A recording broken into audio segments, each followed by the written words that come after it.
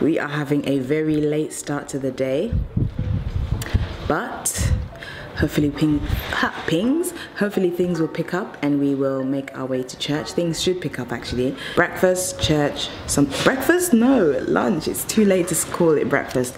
Something to eat, then church. We had a good night last night, but it was very interesting. I don't even know if we want to get into that, but it was like London following us wherever we were going. Gosh, I'm burning stuff.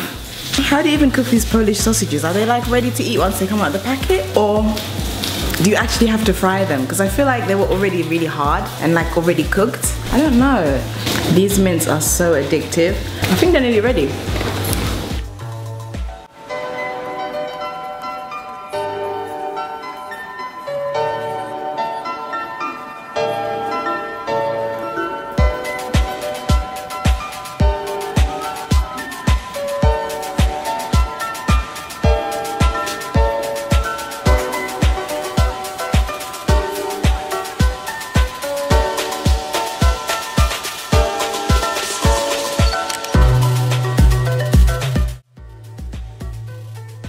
Heading to the fourth floor. Right, so this is the room that we have gotten. We've checked in and everything. It's pretty nice. I'm actually quite impressed with it. Those are the beds there.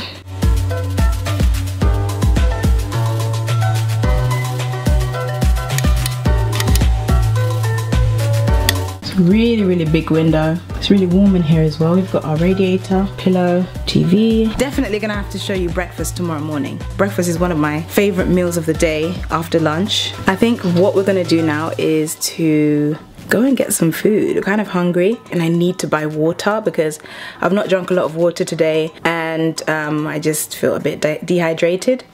So yeah this is where we're staying for tonight. It's called Lamat it is on Kristinelundsgatan. I think that's what it's called. I can't remember. I think that's the name of the street.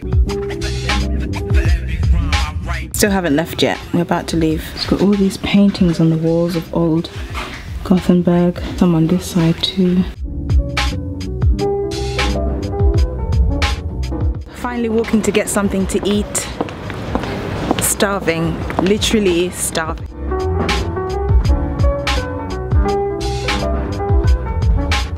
Not proud of this, but we've got some takeaway. Tropicana. It's always best with bits. The best.